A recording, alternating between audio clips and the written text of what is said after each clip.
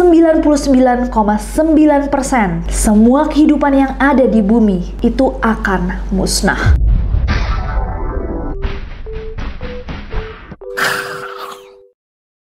Hey guys, it's Nessie and welcome back to Neror. Malam ini kita akan membahas satu topik yang cukup mengerikan, especially untuk aku, kamu, dan semua manusia yang ada di bumi ini. Jadi, sampai saat ini, beberapa peneliti itu memprediksi bahwa pada tahun 2100, sebagian besar wilayah di bumi akan tenggelam. Bahkan ada juga yang mengatakan bahwa 100 tahun yang akan datang, 99,9% semua kehidupan yang ada di bumi itu akan musnah. Malam ini bersama-sama di Neror kita akan membahas beberapa teori yang berhubungan dengan kehancuran bumi. I know it's super scary. Aku tahu ini kayaknya salah satu neror paling serem karena menyangkut kita semua. Ya nggak sih? Uh.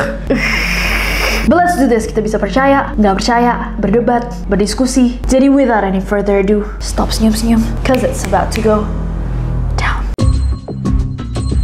Bumi kita ini guys adalah satu planet yang sangat-sangat menakjubkan. Amazing. Urutan ketiga setelah matahari dikenal juga dengan nama planet biru dan satu-satunya planet yang memiliki gas oksigen yang cukup, kandungan air dan asam amino yang berlimpah, karbon dioksida, juga memiliki atmosfer yang menjaganya. Dan karena itu semua, bumi adalah satu-satunya planet yang dipercaya layak dihuni makhluk hidup termasuk manusia. Diperkirakan bahwa bumi kita ini guys terbentuk 4,54 miliar tahun yang lalu. Sementara kehidupannya itu baru muncul 3,5 miliar tahun lalu. Nah meskipun bumi kita nih udah menjadi tempat hidup selama bermiliar-miliar tahun, ternyata nggak ada jaminan bahwa dia akan bisa menjadi tempat hidup selamanya. Bahkan beberapa penelitian yang pernah dilakukan itu menemukan fakta bahwa mungkin tidak lama lagi manusia akan kehilangan tempat tinggal. Bahkan ilmuwan-ilmuwan ternama di dunia itu memiliki teori-teori tentang kemusnahan bumi. Ayo kita bahas. Yang pertama ada Stephen Hawking. Aku yakin kebanyakan teroris tahu siapa Stephen Hawking. Seorang fisikawan ternama di dunia, bahkan bisa dibilang salah satu yang paling terkenal sepanjang sejarah. Dia dikenal atas penelitiannya tentang lubang hitam atau black hole, teori Hawking radiation, dan tentunya salah satu yang paling terkenal adalah teori Big Bang. Nah, menurut Stephen Hawking guys, jika alam semesta ini memiliki awal, tentu dia akan juga memiliki akhir. Dia berteori bahwa manusia itu akan mengubah planet ini menjadi sebuah bola api raksasa. Dan dia perkirakan bahwa hal ini akan terjadi di tahun 2600. Di tahun 2016, Stephen Hawking ini sempat ngomong guys, kayak manusia itu kayaknya hidupnya cuma tinggal 1000 tahun lagi. Tapi setahun kemudian di tahun 2017, meralat gitu ya omongannya di tahun sebelumnya, dia bilang bukan 1000 tahun,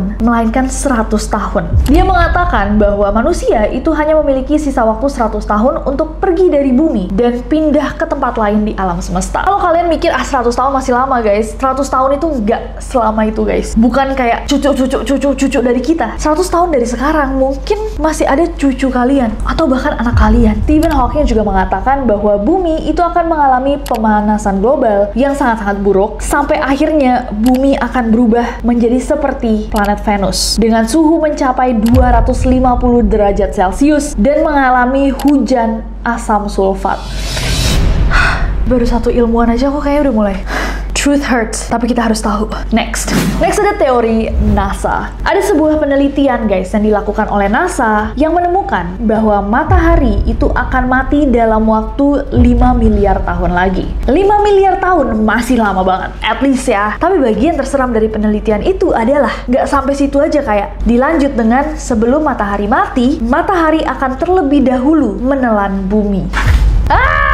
Dan kalau kalian inget, kita sempat bahas tentang eksplorasi Marsnya Elon Musk kayak di video bareng Kaluna Maya. Kalau Mars tuh bakal bisa ditinggali manusia sebagai pengganti bumi 2029. mulai di 2029. Dan ternyata penelitian NASA yang barusan itu adalah alasan kenapa Elon Musk itu mau melakukan ekspedisi ini. Dia berencana agar Mars itu sudah bisa ditempati oleh manusia dalam waktu 5 sampai 10 tahun ke depan aja. Elon juga mengatakan bahwa dia akan mencoba mencari wow, dunia baru di luar angkasa sana. Dan ini bukanlah hanya sebuah keinginan melainkan sebuah keharusan.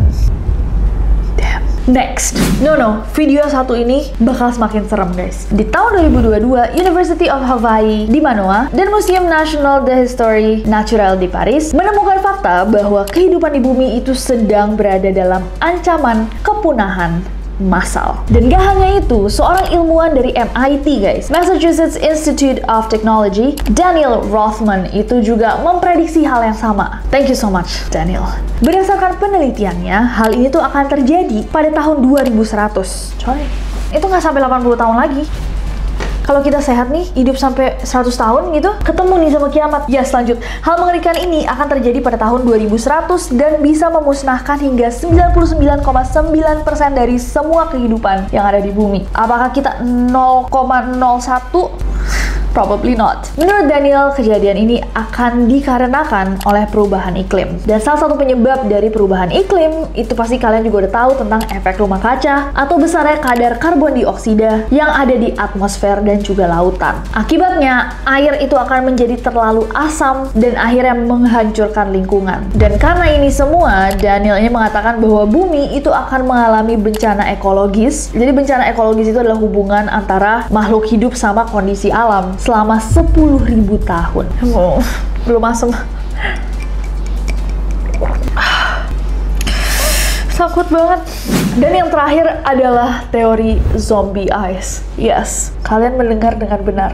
Zombie eyes. Selain perubahan iklim, para ilmuwan itu menyebutkan bahwa bumi itu juga terancam musnah atau punah karena sesuatu yang dinamakan zombie ice. Apa itu zombie ice, Nessie? Kenapa terdengar sangat mengerikan? Jadi, zombie ice atau es zombie ini adalah sebuah lapisan yang ada di Greenland yang juga disebut dengan nama lapisan es terkutuk. Jadi lapisan itu masih melekat pada es yang lebih tebal lagi. Tapi lapisan ini tuh udah nggak diisi sama glacier induk, glacier. Jadi dia cuma mendapatkan sedikit lapisan salju. Nah, dengan tidak adanya pengisian ulang dari glacier ini yang dingin banget, es itu akan lama-lama mencair. Nah, di 2022 lalu ada sebuah penelitian nih guys yang menyebutkan jika lapisan es yang besar banget di Greenland ini sampai cair, permukaan laut kita akan meningkat sebanyak 27 cm.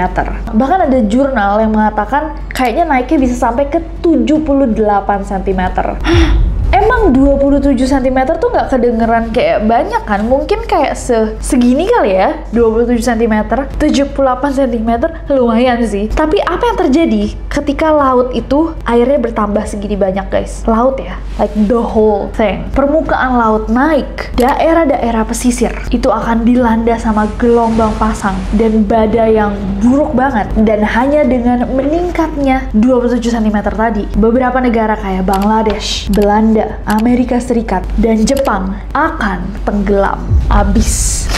Huh. Siapa dari kalian yang mimpi ke Jepang? Jangan tenggelam dulu kan? Jangan sampai. Jangan sampai dia ada yang tenggelam. Serem banget. Manusia tambah banyak, negara-negara tenggelam. Oh my god, kebayang gak guys? Seserem apa? Damn, sumpah materi malam ini serem banget. Dari semua yang kita bahas malam ini guys, hampir semuanya teorinya tuh berhubungan sama perubahan iklim ya. Tapi sebenarnya ini belum death sentence karena dia adalah prediksi. Jika ini terus berjalan, ini yang akan terjadi. Kita sebenarnya masih punya waktu sampai itu terjadi untuk merubah banyak hal. Kayak even the smallest habit, kebiasaan kebiasaan-kebiasaan kecil kita. Apa yang bisa kita lakukan untuk memperlambat atau bahkan mencegah semua bencana-bencana yang akan terjadi? Satu hal yang dari dulu aku preaching adalah stop mencemari lingkungan. Dan salah satu yang paling mudah sebenarnya adalah mengurangi sampah kita. Dari reduce, reuse, recycle, reduce-nya tuh kadang-kadang kita suka lupa gitu. Bahwa kita masih bisa juga mengurangi. Dan ini kayaknya aku udah ngomong dari awal aku bikin YouTube 10 tahun yang lalu. Kayak kalau keluar, bawa tas sendiri buat belanja, bawa alat makan,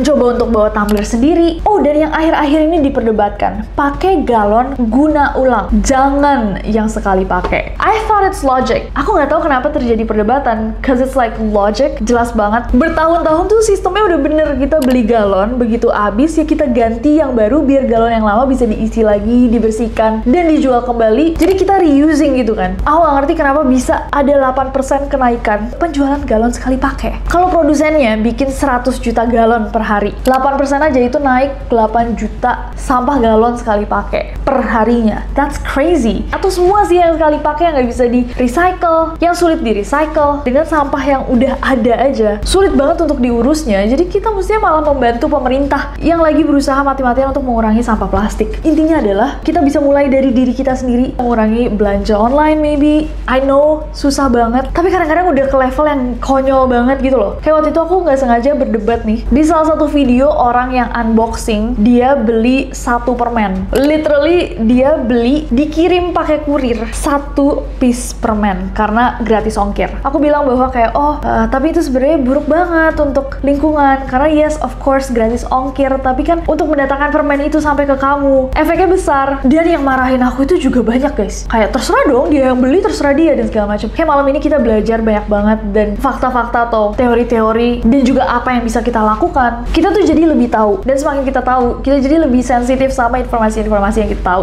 Ngerti gak sih? Tapi nggak apa-apa. Dengan kita tahu kita juga bisa sharing informasi ini dan bergerak bareng-bareng. So let's do it. Mulai dari galon mulai dari online shopping mulai dari sesimpel mengurangi apa pun yang bisa dikurangi. Let's do this together. Terima kasih semuanya yang udah mengalami material mengerikan ini bersama aku malam ini. Kalau misalkan ada materi-materi mengerikan lainnya, coba komen di bawah. Oh, dan aku mau tahu sih sebenarnya apa hal yang udah kalian lakukan untuk mengurangi sampah atau kayak your green act deh, aksi hijau kamu. Please share di bawah aku butuh inspirasi-inspirasi lagi. Salah satu tambahan yang akhir-akhir ini aku lakukan adalah aku mulai menggunakan kantong sampah yang terbuat dari singkong. Jadi ternyata ada yang jual gitu dan I've been using that. Sedikit lebih mahal dari tempat sampah biasa, tapi at least dia bisa terurai. Ya, share apa yang kalian lakukan. Terima kasih semuanya. Jangan lupa subscribe karena aku gak sabar buat ketemu kalian lagi sebelum bumi kita hancur.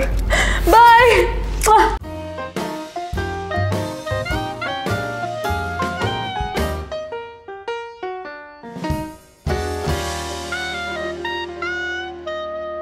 Bumi kita ini guys adalah satu planet yang sangat menakjubkan, menakjubkan, ken menakjubkan. Plastik sampah yang terbuat dari kitela, kitela, bisa kitela? Kitela mana nama merek itu cuy nama merek singkongnya. All in this together. Bumi kita mau hancur. Ah, takut.